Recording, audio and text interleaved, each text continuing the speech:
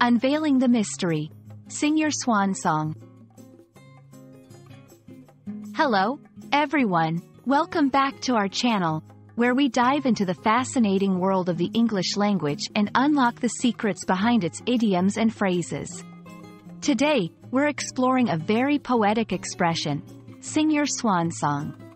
It's a phrase that carries deep meaning and history, and by the end of this video, you'll understand not just its definition, but also its origins and how to use it in conversation.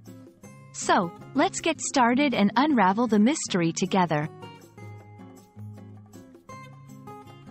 To sing your swan song is a metaphorical phrase that means to perform a final act before retirement or death. It's often used to describe a person's last performance or effort, especially when it's seen as the culmination or the peak of their career. This phrase can be applied in various contexts, not just in the arts or entertainment, but also in sports, business, and personal achievements. The history of this phrase is as intriguing as its meaning.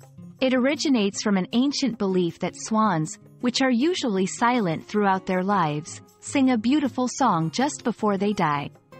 This idea can be traced back to ancient Greece and was popularized by the likes of Plato, Aristotle, and even Shakespeare in his play, The Merchant of Venice. The symbolism behind this is rich and poignant, suggesting a final burst of beauty or brilliance before the end.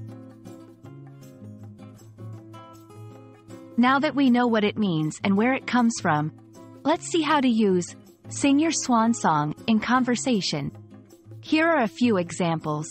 After 40 years in politics, the senator decided it was time to sing her swan song and announced she would not seek re-election. The athlete knew the championship game would be his chance to sing his swan song and end his career on a high note. The band announced their farewell tour, calling it their opportunity to sing their swan song to the fans who had supported them for decades. And there you have it, the meaning, origins, and use of the phrase, sing your swan song.